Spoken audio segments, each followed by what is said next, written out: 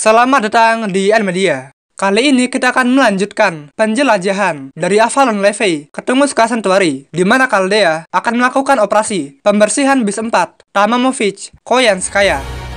Mari kita menjelajah ke salah satu dunia Fat Series.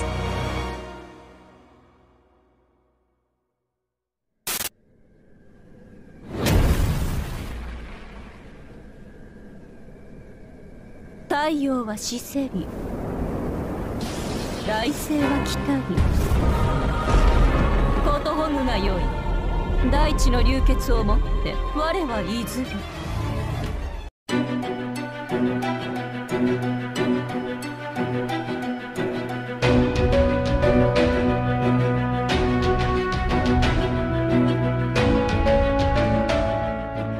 Adegan dibuka dengan orang misterius yang bicara dengan Sion selaku pengunjung dari Atlas dan membacakan peraturan Wenderingsi. Sion diizinkan untuk tinggal di Wenderingsi selama setahun waktu bumi yang memutih dan bertanya, apakah tak ada perubahan? Sion berkata, tidak ada yang perlu diulang dan berterima kasih jika orang-orang itu bisa terus menjaga Caldea. Orang itu berkata bahwa mereka, Baldenders dari Wenderingsi, mengakui kejeniusan Sion. Gerbang keabadian bersulang untuknya gerbang kelahiran, mengasihaninya, gerbang kemajuan, menertawakan kekalahannya, gerbang pelestarian, bersimpati padanya, gerbang perbudakan, tetap menghina. Untuk menghormati Atlas Academy, Wenderingsi akan mengabaikan penjaga ordo manusia dan percakapan berakhir. Sion tak menyangka salah satu gerbang akan menghubunginya. Mungkin menara jam menunjuk orang baru sebagai penghubung dan dia memeriksa data yang diberikan Trismegistus 2. Ada singularitas yang muncul pada 2017 dan dibentuk kembali di tahun 1908 yang semakin besar. Beberapa hari terakhir, jika dibiarkan, umat manusia akan direduksi jadi hewan yang lebih rendah. Kerja bagus, Bis 4, kamu memang evil of humanity. Dia minta Trismegistus 2 untuk kirim komunikasi ke para petinggi Caldea. Ada aktivitas bis remaja yang akan memulai pemusnahan dalam 24 jam. Pertempuran kondisi khusus seperti Lost Belt Inggris. Pangkalan Caldea sedang diperbaiki dan tidak dapat menggunakan Resif atau Zero Sail. Jadi, mereka akan pakai Shadow Border, Target, Tamamovich, Koyanskaya. Di sinilah dia bersembunyi sejak kabur dari Inggris. Pertempuran ini diperlukan sebelum melawan Alien God, dan Sion minta mereka untuk lakukan yang terbaik, meskipun usaha mereka mungkin sia-sia.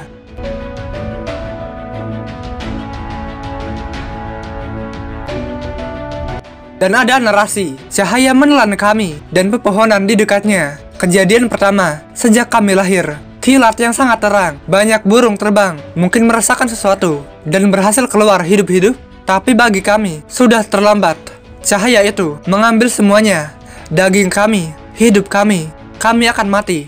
Badai tanpa emosi, begitu kuat, seperti api yang diciptakan oleh manusia. Adegan beralih, mereka semakin dekat dengan Tunguska dan sedang mencari jejak Koyanskaya. Tujuan mereka, hutan tua Tunguska, di Siberia. Target, Tamamovich, Koyanskaya. Kita akan turun sementara ke tanda X dan menyerang Koyanskaya dengan tembakan maksimal.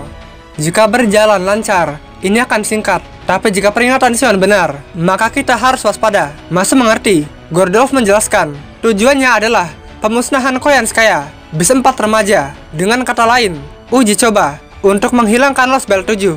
Ini adalah operasi yang menggunakan Black Barrel yang sedang disesuaikan dan mereka dapat sekutu baru, peri pelindung Black Barrel. Habetrot dan Habetrot muncul. Serahkan padaku. Aku punya perlindungan dari Saint Grab Masu. Beberapa jam yang lalu, di dermaga Wenderingsi, mereka mendeteksi tanda magis di Rusia. Apa yang sudah ada beberapa bulan, sekarang berkembang pesat. Di Siberia, Krasnoyarsk, hutan, di hulu sungai Tunguska, pernah ada pancaran, cahaya besar di sana, dikenal sebagai ledakan Tunguska. Pada 1908 Masehi, Holmes ingat, itu ledakan yang mengerikan. Bahkan bisa dia lihat saat di Inggris, hutan terbakar oleh panas dan gelombang kejut, tapi tak ada korban manusia. Bagaimanapun, itu ledakan besar. Mungkin ada korban yang tak tercatat. Fujimaru juga pernah dengar ledakan oleh meteor. Asosiasi penyihir sudah putuskan bahwa itu fenomena alam, jadi masih teka-teki. Faktanya, sebuah domain yang bukan singularitas atau lost belt, reaksinya beda dan tak ada tembok badai. Petunjuk mereka adalah data Trismegistus 2 dan Seba tentang tanda magis, bis remaja, Koyanskaya. Mungkin ini adalah bentengnya. Gordolf bertanya, apa yang harus dilakukan? Tapi didekati oleh Fou. Dia berkata bahwa dia tak punya beacon. Dan Fou kembali ke Masu. Koyanskaya punya Sun Grab Servan dan direktur dari NFF Service, perusahaan militer swasta yang berdiri pada 2017 dan Beast of Christmas. Kemungkinan besar setelah peristiwa Lost Belt Inggris, Koyanskaya sedang lama. Kekuatannya luar biasa, tapi tak lebih besar dari saat di Olympus. Mungkin dia sedang pulihkan kekuatan yang hilang atau bersiap tumbuh lebih jauh, tapi tak ada alasan untuk ungkapkan persembunyian cuma karena cedera atau mungkin sudah tak perlu disembunyikan. Gordolf menambahkan, Koyanskaya pernah melindungi kapal, berperilaku seperti manusia, memberi alat medis dan bantuan untuk yang miskin, dan dia mungkin punya sifat femme fatal dan devil, tapi kita tak bisa biarkan pertumbuhan bis. Dia berkata bahwa apa yang terjadi pada Kaldea lama adalah salahnya dan akan bertanggung jawab. Mulai sekarang, Kaldea akan bersiap tempur. Sekarang prioritas pemusnahan Koyanskaya, operasi anti-bis, dan uji coba menghilangkan Lost Belt 7 dan Black Barrel akan sangat berperan. Itu mengukur skala kehidupan target dan menyerang kehidupan sebagai peluru. Tapi jika digunakan tanpa command spell, baru bisa dengan bantuan Habetrot dan tembakan beruntun tak mungkin karena larasnya akan terbakar. Itu masalah besar. Selanjutnya, inti Divine Construct dari Lost Belt Inggris sedang dikembangkan oleh Sion. Bertempurlah seperti biasa, dengan efek maksimal. Gordolf berusaha mencari alternatif, tapi sayangnya, rencana menghilangkan Lost Belt 7 cuma ada satu bagian, itu akan berpusat di Excalibur. Sebagai pelengkap, mereka bisa lakukan pemanggilan massal Heroic Spirit dengan tungku magis, menyerbu tempat musuh. Dengan banyak Heroic Spirit Caldea, mereka akan kirim Heroic Spirit yang cocok untuk misi ini. Itu cara termudah. Ayo lakukan. Ini operasi pemusnahan dan uji coba. Catat data yang perlu. Fujimaru akan masuk bersama 10 servan. Mereka akan mendekat dengan border dan jatuhkan Fujimaru di dekat Koyanskaya. 6 servan sudah dipilih dan siap berangkat. Perburuan bis dimulai. Nemo berkata, ada penghalang, mungkin penghalang magis, atau bounded field. Singkirkan itu. Da Vinci, perhitungan selesai. Fokus pada booster border, kita bisa terobos. Masuk, mode pengeboran dimensi. Mereka berhasil masuk dan bersiap mengejar tanda magis. Tapi Habetrot bilang, ada yang aneh. Dia seperti akan menghilang dan akan beralih ke mode tak aktif. Masuk, panggil aku saat butuh. Aku bisa bantu sedikit di pertempuran. Masuk panik, Nemo dan Holmes juga akan hilang dan menyuruh Da Vinci untuk mengecek ruang pengarahan 2 dan terkejut karena Servan yang menunggu di sana kembali jadi Grab. Mungkin dia belajar ini dari Inggris. Tanah ini menolak sejarah manusia melebihi Inggris. Holmes juga tak akan bertahan. Da Vinci, Homunculus, Masu, Demi Servan, Fujimaru, dan Gordolf tak terpengaruh. Nemo punya dua Grab, bisa bertahan lebih lama dan sedang mengarahkan border untuk mundur dari tempat khusus. Marin, mesin maksimal, dan Nemo mengemudi, menggantikan Munir. Da Vinci, dimengerti, pergi ke hanggar, lari ke border, dan ganti perlengkapan tipe 1. Nemo akan jaga kapal, operasi dengan shadow border. Fujimaru, Masu, Da Vinci, Munir, dan Patua. Setelah percakapan dengan Nemo, mereka berangkat. Mungkin Koyanskaya juga tahu ancaman yang ada di Lost Belt, dan mereka cuma bisa andalkan Fujimaru. Kapten, sisanya aku serahkan padamu. Nemo akan berjaga setelah keluar wilayah. Sampai jumpa di Wandering Sea. Shadow Border sedang dipisah. Kita akan turun. Perbaikan selesai. Buka palka. Shadow Border meluncur. Munir dan Gurdolf panik karena apa yang dimaksud dengan meluncur adalah jatuh. Ini sudah ketiga kali melakukan drop. Fujimaru dan masuk aman. Kerusakan listrik 20%. Kerusakan bingkai 10%. Bisa lanjut operasi. Singkatnya, mereka semua aman dan tidak ada masalah. Pada Sign Grab, mereka harus anggap tempat ini menolak Heroic Spirit Panhuman. Tapi ada suara yang berkata, itu aneh karena dia di sini. Rupanya, itu adalah Ibu Kidoji. Gordolf ingat, Ibu Ki adalah salah satu dari enam servan yang ada di ruang pengarahan dua. Mungkin bisa bertahan karena dia defense spirit, bukan manusia, atau karena kategorinya adalah roh alam. Ibu Ki bertanya, apakah Ibu Kidoji adalah namanya? Singkatnya, dia kehilangan sebagian ingatan. Mungkin dia bisa bertahan, tapi pengorbanannya, ingatannya kacau, kepalanya masih pusing. Tapi dia bisa menggunakan api, angin, petir, dan air. Jika berusaha, dia mungkin bisa mengubah Sign Grab, dan mereka resmi bekerja sama.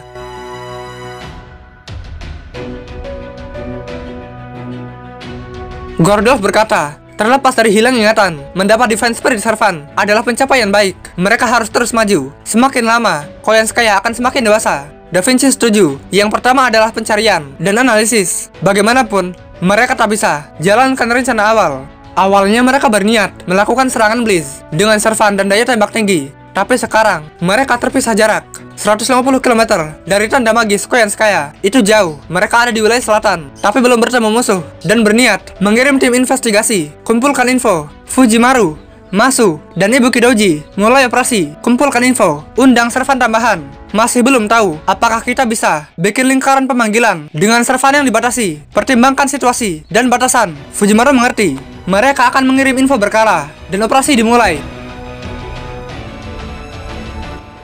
Tapi gerakan Ibuki sangat cepat, bahkan dengan tubuh yang diperbesar, tapi dia pasti akan menarik perhatian.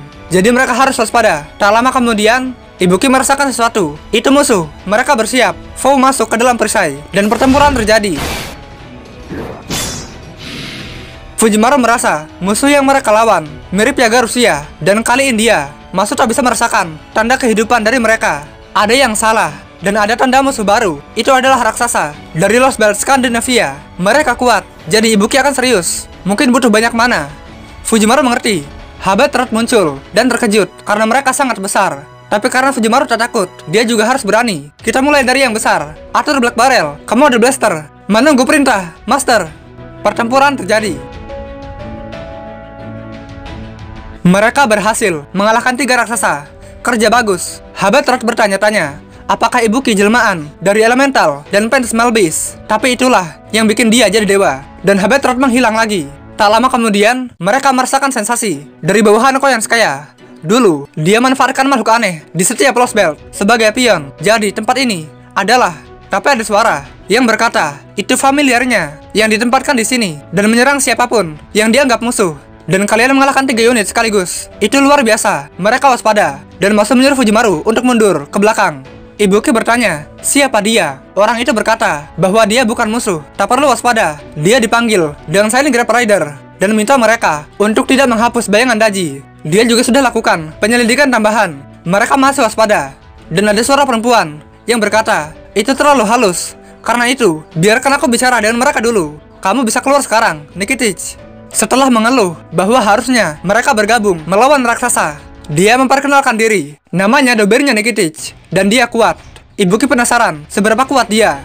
Sementara pria itu datang dari tahta pahlawan, ahli taktik Dausi, Tai Gongwang.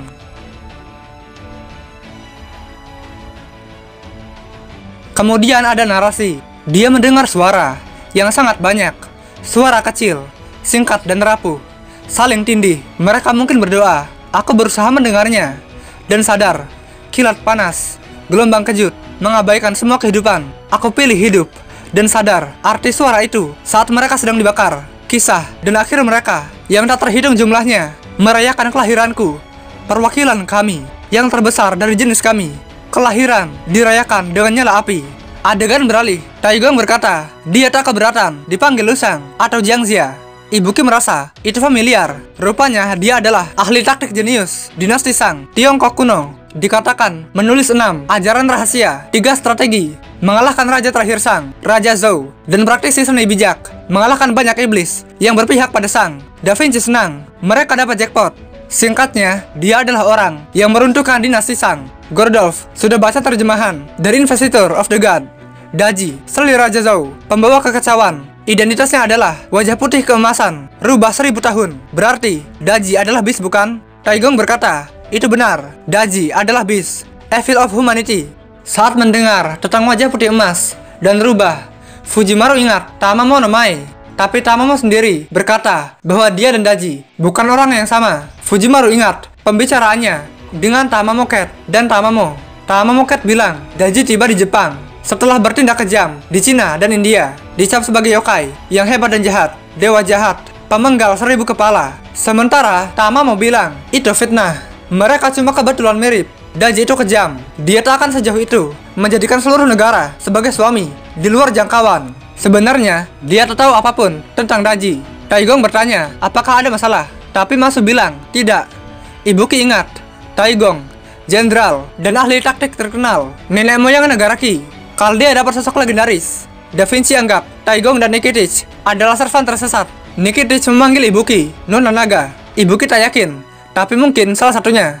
Da Vinci tertarik dengan telinga Nikitich. Fujimaru merasa mereka berdua sama dan sinkron. Nikitich menyebut nama lengkapnya dan bebas memilih panggilan pahlawan cave yang mengalahkan naga berkepala tiga dan 12 ekor sendirian sebanyak dua kali. Dikatakan pernah pergi ke Konstantinopel mendapat Taigong dan Nikitich. Itu luar biasa. Masu menjelaskan Namanya adalah Masu Kirillite bersama Kaldea. Mereka ingin kembalikan sejarah manusia dan memperkenalkan Fujimaru. Mereka sudah tahu sedikit tentang orde manusia. Jadi, kalau ada musuh, tinggal musnahkan saja. Gordov mengira Nikitich adalah berserker, tapi Da Vinci yakin kelasnya adalah rider. Dan dia menjelaskan, mereka mencari raja tempat ini, Koyanskaya, remaja bis 4, dan bisa melintasi Rosebelt dengan mudah. Mereka ingin musnahkan dia sebelum terjadi sesuatu dan minta bantuan mereka berdua. Taigong setuju. Setelah basa-basi, Nikitich ingin menguji kemampuan tim Fujimaru, Heroic Spirit Caldea. Tunjukkan keberanian kalian padaku. Pertempuran dimulai.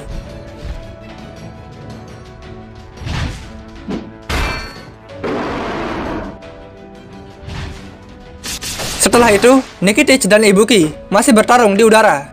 Meskipun tak enak meninggalkan Fujimaru di darat, Nikitich, penunggang naga yang membunuh naga, mungkin bukan Wyvern biasa, bisa jadi selevel dengan Heroic Spirit.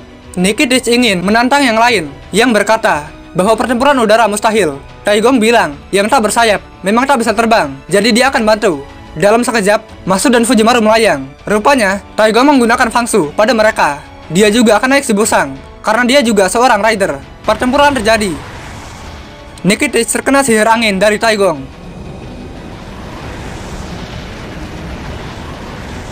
Dan Ibuki melompat, menggunakan Masu sebagai pijakan, sambil melepas Pseudo Noble Pandesem, Hajimiyaku Doto. Karena disebut Pseudo NP, mungkin cuma serangan sederhana.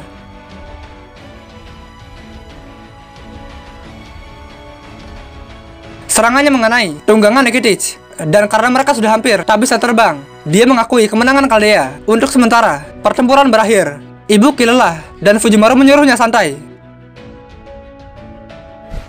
Gordov berharap tak ada tanding kedua karena bisa bikin serangan jantung. Nikitich ketawa. Taigong bilang tak ada yang kedua. Sudah cukup untuk penegasan kekuatan. Setelah percakapan singkat lagi, Fou merasa Taigong mirip Merlin dan menyerangnya. Masu berkata, itu tak sopan. Si Bushi yang jadi marah dan berdebat dengan Fou. Fujimaru dan Masu merasa dia imut. Taigong berkata, mereka sudah ada di sini sebelum Kaldea tiba dan mencari lebih rinci tentang tempat ini. Tapi mereka masih belum mengenal Kaldea. Singkat cerita, mereka berbagi info. Kaldea dan enam Lost Belt. Gordolf kesal karena Fujimaru dan Masu mengungkap terlalu banyak info. Tapi Da Vinci tertidur di belakangnya. Munir yakin Fujimaru ingin bisa percaya pada mereka. Karena itu, dia akan terbuka dengan rahasia. Ketika mereka bicara, Ibuki sedang makan dan memberi wortel pada si Busyang. Sementara Nikitich memukul Taigong karena belum memberi informasi. Akhirnya dia berkata, dia punya tempat yang ingin ditunjukkan. Mereka akan ambil jalan pintas, tapi ada unit luar biasa. Mereka akan serang unit luar biasa itu, karena itu ancaman. Fujimaru setuju, dan yang lain akan mengikuti Fujimaru. Mari kita mulai operasi gabungan pertama. Setelah berjalan semakin jauh, mereka melihat badai salju, petir, dan gunung. Tapi itu bukan gunung, Glaster Pembara, Ivan the Tribal, tubuhnya dibuat ulang, dengan energi sihir, senjata terkuat di area itu, ancaman mematikan, tapi ada jalan. Ibuki suka keberanian Taigong dan Nikitich. Bertanya, apakah Fujimaru siap mati? Dia berkata bahwa dia mengandalkan Ibuki. Kalau begitu, aku akan lebih dari serius. Jangan salahkan aku jika manamu habis. Tahan gajah itu selama mungkin. Masuk maju, Habatrat bersiap, tapi dia kedinginan. Serahkan koordinasi laras padaku. Nikitich terkejut melihat Habatrat yang kecil, tapi dia mirip prajurit. Sekarang, semua pasukan, Keluar! Pertempuran dimulai. Dan bersambung. Like jika suka video ini. Jika ada like atau apa pun silahkan komentar dan subscribe bila perlu.